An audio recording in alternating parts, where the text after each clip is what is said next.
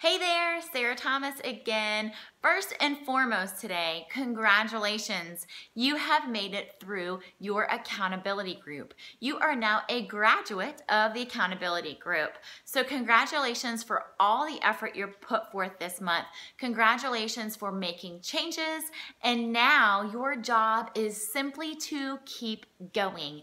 Keep up those new habits you've created, your exercise, your nutrition, everything that you have learned throughout this group, your job now is to apply it throughout your life. So here's what you need to do. You need to measure yourself. You need to step on the scale again. You need to take those pictures. Remember that these are not after shots, they are simply along your journey shots. But go ahead and take those pictures, measure, and weigh yourself so that you have progress pictures to look at later on throughout your journey. I like to take these every time I start something new.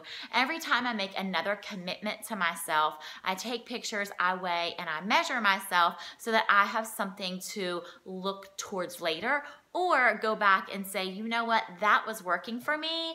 I need to go back and make some adjustments in my life so I can get back to that place. So make sure that you do that. Also, please contact the coach that invited you to this awesome group. I'm sure they are going to have some next steps for you and some options looking ahead for wherever you are right now in your journey so that you can make steps towards the next level.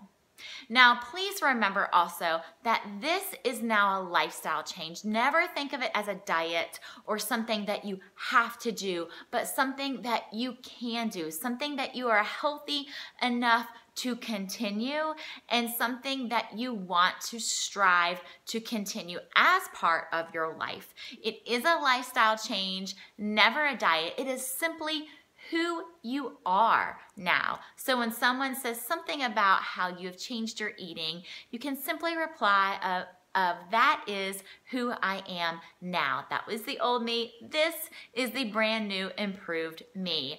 We have thoroughly enjoyed having you as part of this group. We look forward to working with you in the future. You guys are awesome rock stars. Keep it up.